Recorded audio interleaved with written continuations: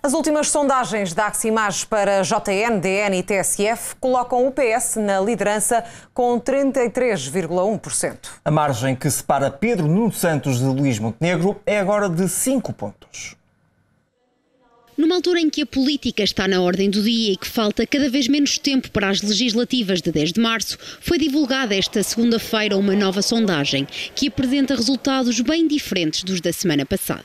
O Partido Socialista, liderado por Pedro Nuno Santos, está agora à frente da Aliança Democrática com 33,1% das intenções de voto dos portugueses. A margem que separa os dois maiores partidos é maior. 5 pontos percentuais separam os socialistas dos sociais-democratas, que se apresentam com 27,7% das intenções de voto.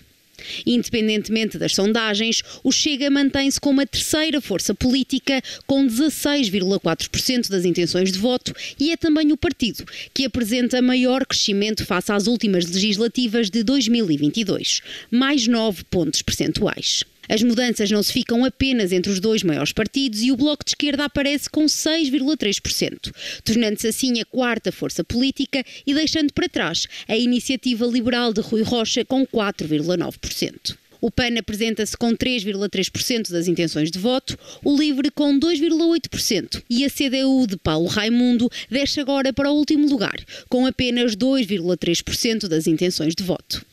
Caso os resultados desta sondagem se materializassem, seria mais difícil para a esquerda viabilizar uma maioria parlamentar.